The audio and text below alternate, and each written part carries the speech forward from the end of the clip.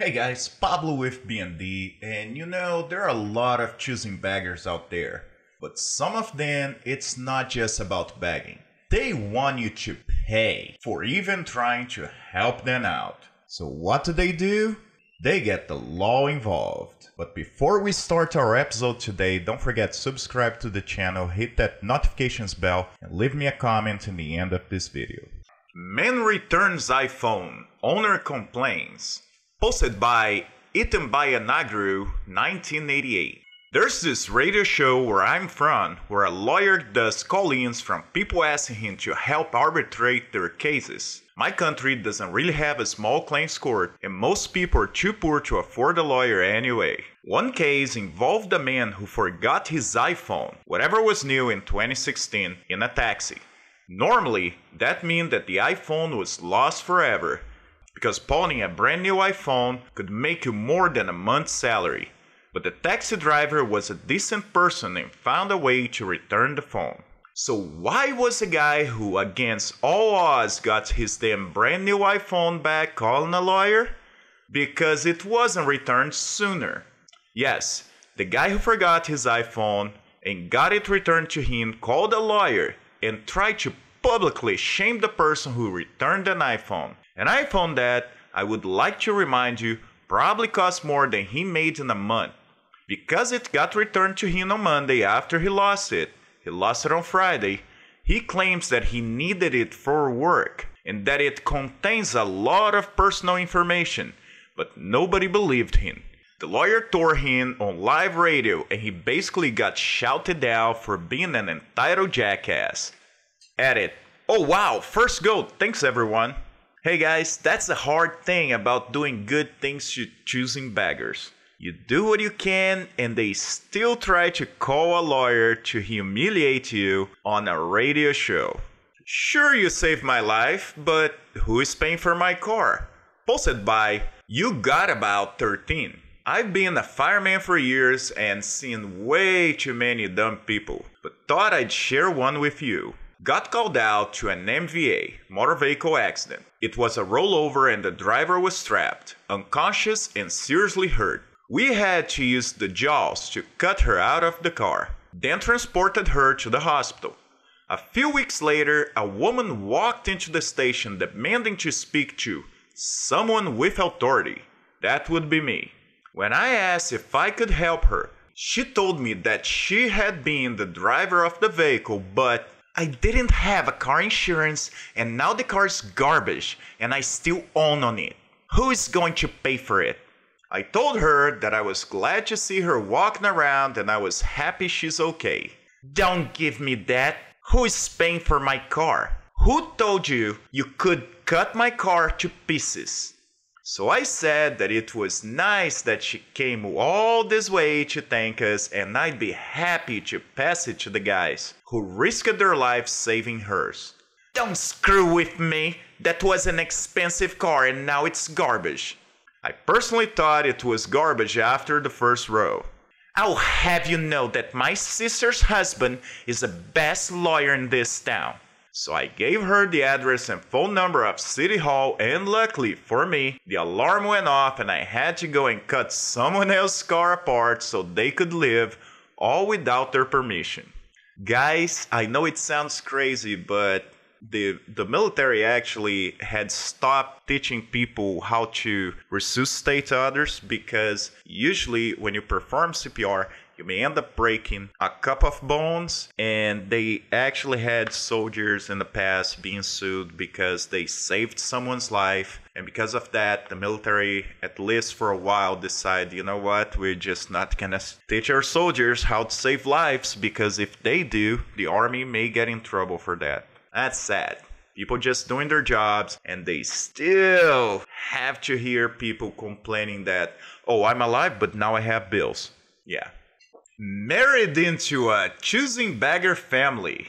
Posted by U slash Armada 5. If you think you're casually encountering a choosing Beggar's bed, try marrying into a family full of them. I made that mistake. My wife came from a full blooded white trash who assumed that since I worked a decent job, I was obligated to cover all their expenses. Example I came home from work one day and found my wife crying on the phone with her mom. Her mom had called and was needing 2000 right away to hire a lawyer or she was going to lose everything. And my wife convinced me to give it to her. It was about half of the savings we had at the time. Fast forward a week later, I'm on Facebook and I see my mother in law, her partner, and several of my other in laws have rented a massive condo and are vacationing for a week on the beach. I asked my wife why her mom could afford that but couldn't afford the money for an attorney. She told me that her mom and her partner have two bank accounts, one for necessities and one for fun money, and they never pay for necessities like attorneys out of their fun money account. That is how they paid for their vacation. I had not gone on vacation for two years. This was just one example, but I would get about three or four demands for money from her family every month. I was relieved the day I signed the divorce papers. Hey guys, you know, quoting Titus, if you meet your girl's family and they're all crazy, don't start thinking that she's the sane one, okay? I stole your identity, now please go to jail for me. Posted by u slash Actava Mary. I don't post on Reddit often, but be patient with me. Also, this is kind of a long one, so get some popcorn. About 15 years ago, I was in a car accident, not my fault, and I was awarded 25,000 in insurance money as a result. I took the opportunity to move out of my mom's home and get a cute little studio apartment for me and my cat. The people in either side of the courtyard were very nice, and I made friends fairly quickly with all of the neighbors despite being so much younger than all of them. After living there for around a year, I met a girl my age and we became, I thought, good friends. She had had marriage problems and was separated from her husband, and the two children she had were in foster care for reasons she wouldn't tell anyone. She begged me to help her get her kids back from CPS, so I got a list of guidelines from the local office, and together, Bagger and I started planning to try to get her children back. I bought her children furnishings and helped her get a job. I even used some of my insurance money to help her get a used car so that she had transportation for her and her kids. And she did get her kids back. They had a small two bedroom apartment she slept on the couch and her children each had their own bedrooms. The girl's room was decked out in Dora the Explorer furnishings that I had bought for her, and the boy's room was decorated with sports cars, as he requested. It was a lot of money, but I was a sucker, and I thought it was a good cause. Soon after getting her kids back, she stopped coming over as often. Her kids came over all the time, but she was usually nowhere to be seen. I found out that she was attempting to settle things with her husband, and he moved in with her, bringing his drug problem with him.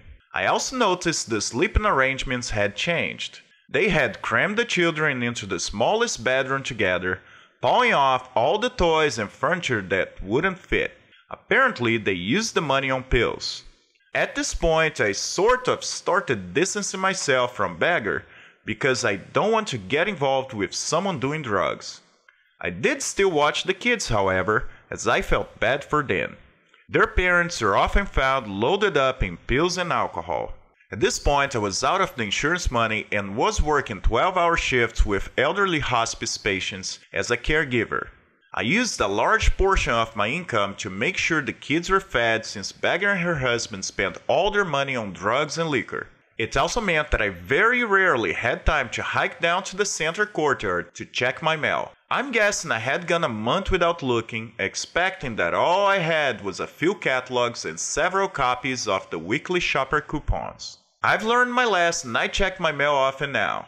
When I opened my mailbox, I was alarmed by the large stack of government sealed letters that had been wedged in it. There are six separate letters, all of which accuse me of a different offense. This culminated in me having five warrants out for my arrest and a court date.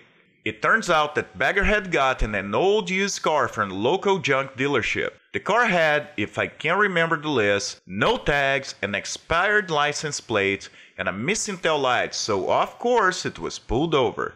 Bagger being on a probational period with CPS, meaning if she stepped out of the line, they would take her kids away again, panicked and decided that she would lie about her identity. So, she said she was me and she was driving without a license and insurance because she had forgotten her purse. Oh, woman. The first thing I did was go to her and ask what this was, as I recognized the model of the car as the one she was so proud to have gotten. After having pawned the car I helped her get a year prior. I didn't even know you could pawn a car, by the way. She smiled at me and simply said, You don't have a criminal record, so they won't punish you like they would me. You don't want me to lose my kids again, do you? I'm not sure what she expected, but I was beyond caring at that point. I was pissed. The first thing I did was cancel my work for the next few days and I set about making appointments with a lawyer and a police officer that took beggar's word that she was me simply because she knew my name and address.